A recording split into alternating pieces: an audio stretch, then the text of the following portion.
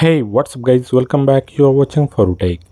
This is my OnePlus 9RT. I am using the Oxygen OS 14 version 500 on it from last one month. It's Android 14 stable build. But today I got the news that OnePlus started to roll out the new Oxygen OS 14 EX01 V600 OTA for this device. So I eagerly checked my OTA section but I still didn't got this OTA. I used the OnePlus Updater application also, but there also it's shown your system is up to date.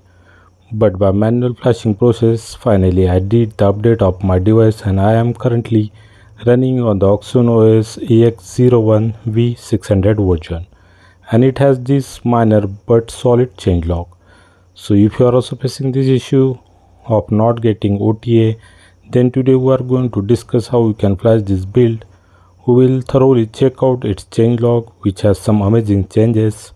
We also did the performance test and we also seen some improvement in the battery that we are facing from few days. So watch this video till the end. Now without further ado, let's get started. On a new adventure.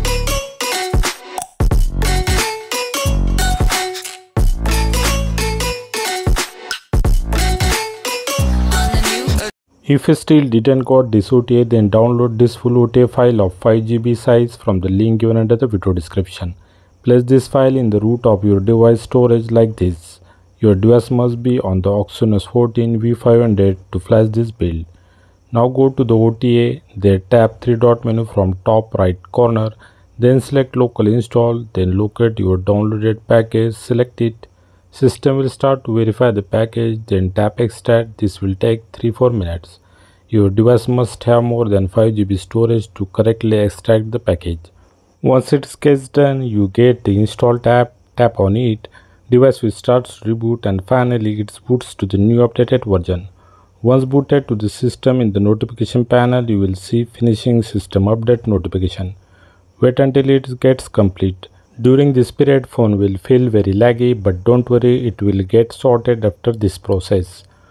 Okay, let's check out the about device details now. In the OT updater, you will see it showing our device is now upgraded to the Oxygen OS 14 EX01 V600 build. It has small but very interesting changelog that we will discuss soon. Android version is like old V500, it's Android 14 with the Google's upside down easter egg.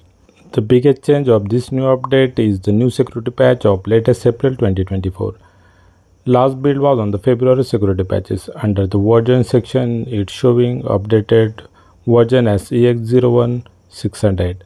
Another big update is the kernel. It's upgraded to the state 5.4.254 while old build was on the 5.4.233. This is not mentioned in the changelog but I discovered it.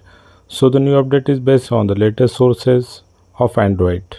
Now let's check out the new changes of the new update. First change is the new volume button on off torch option.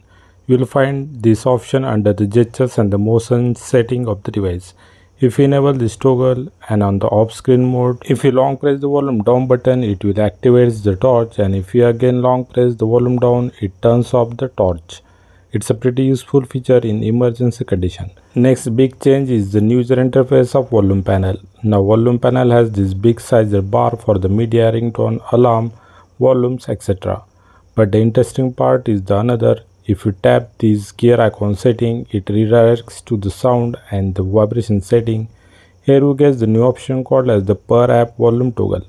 If we enable this and place any media application like YouTube or any other music application, then while using that application in the volume panel, now gauge the separate volume control for that specific app irrespective of media volume of other applications. Next, OnePlus added a new partial screenshot option in the smart bar. Open the smart sidebar, tap all and you will see the new partial screenshot option. You guess the three gestures to take the partial screenshot like rectangle, ellipse and the freeform mode. By using this, you can take the screenshot of only specific part of the screen instead of full screen traditional way.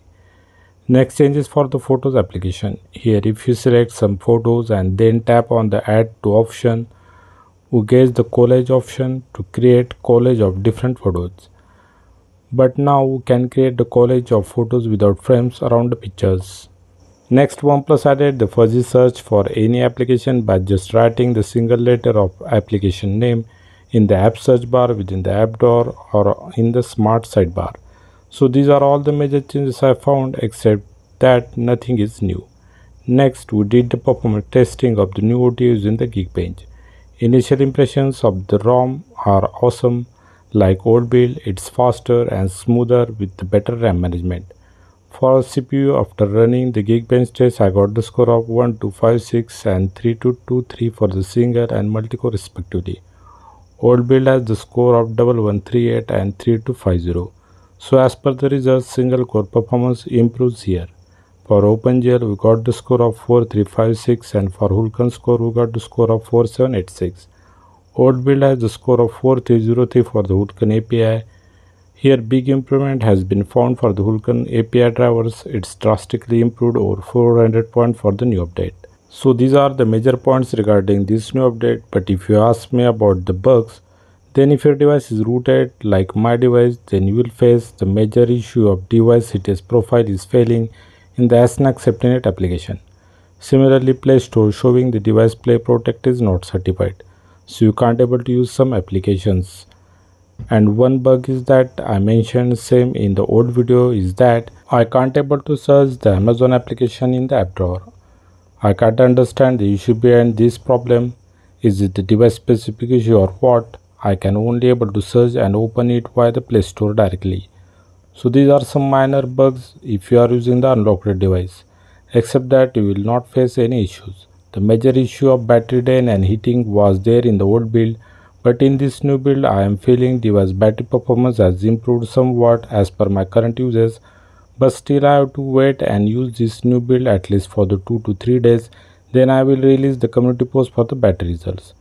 Until then if you liked my work then please do like and share this video, subscribe our channel, press the bell icon for the notifications of our upcoming content for the 9RT.